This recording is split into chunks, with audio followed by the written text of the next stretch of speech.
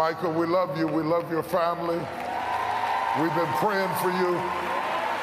We've been praying for your family. We love you, man. We stand in agreement with you. The strength of God envelop your heart. And even as you serve and you give out to other people, that God would replenish you and renew your strength and, and comfort you and lift your head. Come and let me pray for you.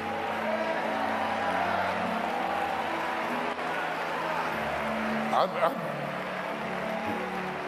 I, I know what it is to serve and be hurting.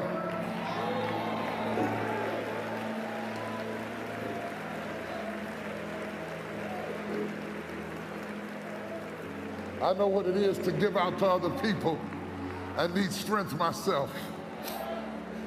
I pray that the strength of God would overshadow you, that He would comfort your heart, that He would be the sweet comforter that the Word says He is, and touch you and your wife and your children, and give you peace and power and victory and strength and healing and virtue and glory from the crown of your head to the sole of your feet.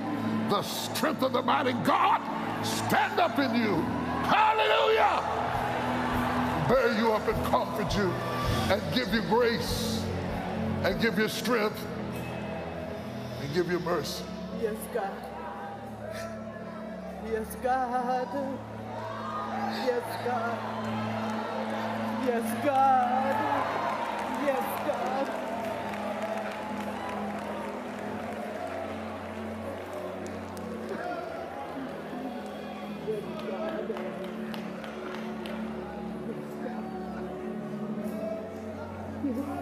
Hallelujah.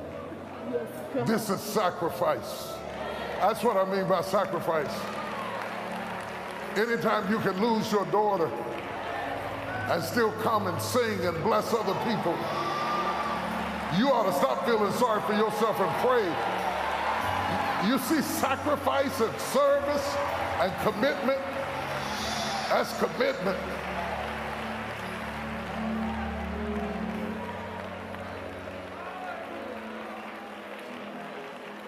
Whew.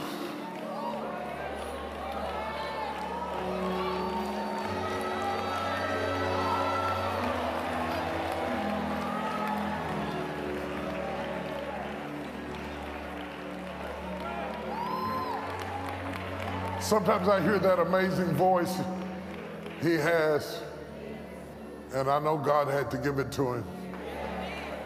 Because I feel it like that, but it don't come out like that. He, he, he sings it like we feel it, doesn't he? And it doesn't seem like, it almost don't seem fair that somebody could sing that good.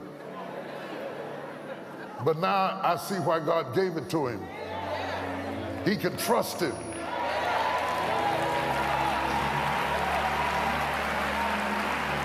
Do you know how few people could lose a child and come and sing a song like that while they are grieving? People will stay home because they don't have a full tank of gas or their back hurts or their knee hurts. And this boy with a broken heart is still trying to bless you. That's what I mean about sacrifice.